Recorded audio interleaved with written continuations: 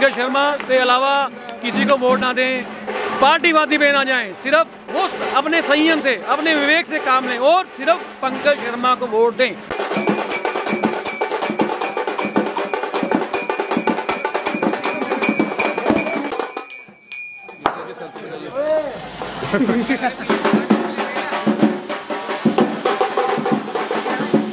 आतिशबाजी का ये शोर, ढोल नगाड़े और मिठाई बांटने की ये तस्वीरें कुछ विजय जलूस जैसी दिखती हैं।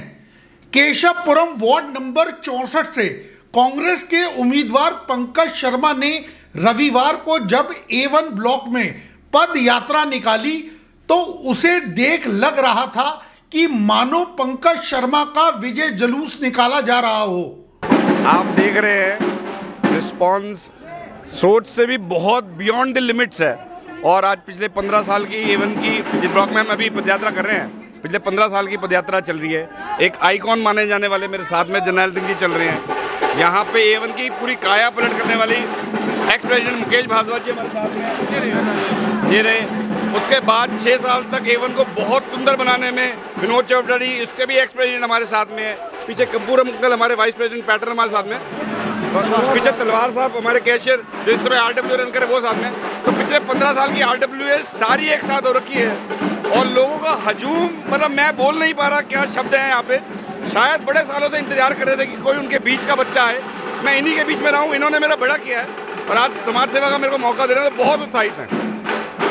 केशवपुरम की जनता ने पंकज शर्मा की सामाजिक सेवाओं की सराहना करते हुए उन्हें पूरी तरह से समर्थन देते हुए उनकी जीत का ऐलान कर दिया। का लोकल कैंडिडेट अगर पंकज आता है उसमें केशवपुरम एवन का हित है पूरे केशवपुरम का हित है और ये बहुत अच्छे वर्कर हैं इन्होंने कोरोना के समय जो सेवा की है क्षेत्र कभी नहीं भुलाएगा।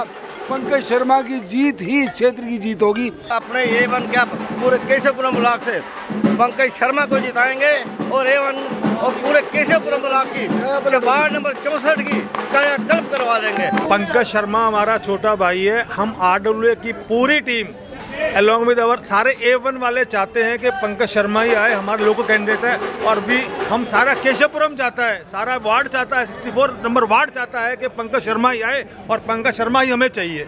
ये जितना मेहनती लड़का है जितना इसने कोविड के टाइम में काम करा है और इसको विदाउट किसी आ, किसी लालच के लड़का काम करता है and is a deserving candidate is should win Pankaj Sharma द्वारा केशवपुरम में निकाली गई ये पद यात्रा अपने में अभूतपूर्व कही जा सकती है, क्योंकि इसमें न सिर्फ़ एक भारी जन सैलाब देखने को मिला, बल्कि लोगों का ऐसा समर्थन रहा कि 42 जगहों पर स्वागत और खाने के पंडाल लगाए गए।